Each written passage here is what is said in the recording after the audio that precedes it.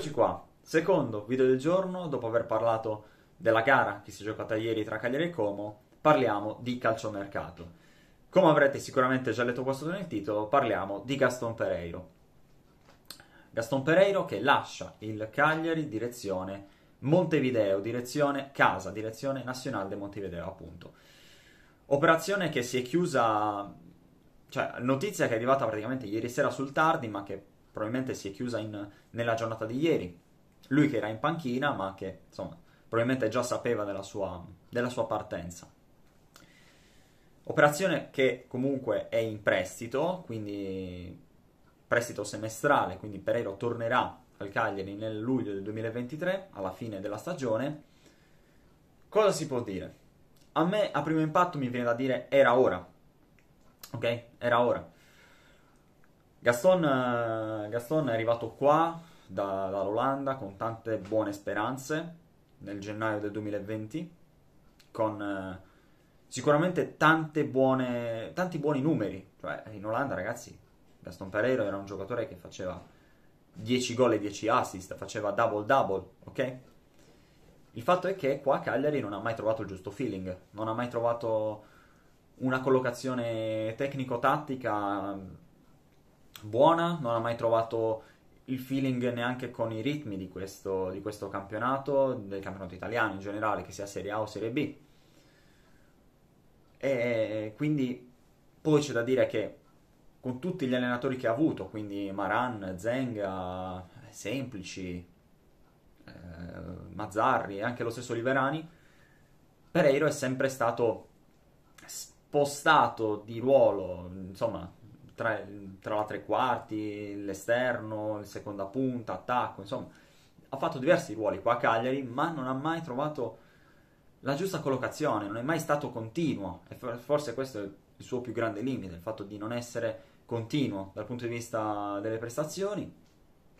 Forse il suo momento migliore è stato appunto nel, nell'inizio dell'anno scorso, insomma, quando segnò eh, diversi gol tra gennaio e febbraio dell'anno scorso, quindi 2022. E poi però lì si è rispento di nuovo. Ha segnato, mi sembra, quella doppietta contro l'Atalanta, il gol contro il Napoli, mi ricordo, il gol contro, eh, contro il Bologna al novantesimo. E poi l'ultimo suo gol, Eurogol contro il Como, che ci aveva fatto pareggiare il match d'andata, il primo match di questa Serie B.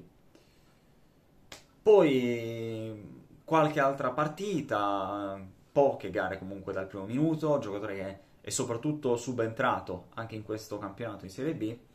Adesso a pensarci mi viene complicato anche pensare a una sua ultima apparizione da titolare, forse quella contro il Pisa, non vorrei sbagliarmi. Però ragazzi, non, non, è mai stato ehm, protagonista, forse anche lui non si è mai sentito veramente eh, al centro del progetto, non si è mai sentito... Eh, non ha mai sentito quella fiducia veramente che magari ha provato in Olanda, poi i ritmi in Olanda sono sicuramente diversi.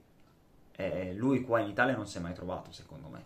Lui qua in Italia non si è mai trovato perché è un calciatore molto tecnico, molto molto tecnico. E questo gli va detto, un giocatore che tecnicamente è fortissimo, ma che fisicamente, ragazzi, non corre, non, non, non, ha, non ha, quel passo che può fare l'esterno, non ha quel dribbling eh, abbinato alla velocità che può, insomma, permettergli di saltare l'uomo di continuo.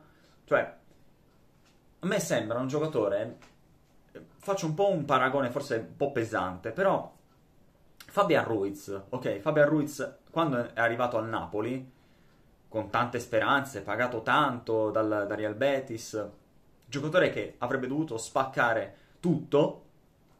Ragazzi, alla fine Fabian Ruiz era un giocatore normalissimo in quel Napoli. Era un giocatore normalissimo. Con tanta tecnica, ma molto lento per i ritmi della, del campionato italiano. Adesso, tra l'altro, anche il Paris Saint-Germain sta facendo fatica per quanto mi riguarda. Quindi capite bene che tutti questi calciatori che hanno tutta questa grande tecnica nel campionato italiano però deve avere anche una certa, una certa intensità. E noi ci lamentiamo spesso del fatto che in Italia i ritmi sono bassi e tutto quanto. Ma se questi calciatori non rendono e hanno ritmi ancora più bassi, capite bene insomma che probabilmente il ritmo qua in Italia non è così basso come si dice. Detto ciò, tornando a Pereiro, sicuramente gli può fare bene uno, un ritorno a casa, magari anche in un, in un campionato che eh, comunque ha visto anche il ritorno di Luis Suarez. E quindi adesso Suarez tra l'altro non gioca neanche più a, al Nacional, è andato in Brasile, però comunque ritrova un ambiente familiare, un ambiente che lo ha cresciuto, che lo ha portato insomma a emergere poi nel calcio europeo, ma che non so quanto poi potrebbe tornare qui con tutta quella voglia insomma di, di, di, di dimostrare che abbiamo sbagliato a cederlo. Cioè, adesso poi mi viene da dire, ma ci voleva Ranieri, ci voleva Claudio Ranieri per capire che questo calciatore non serve a questo Cagliari. Non serve. Non serve un calciatore del genere.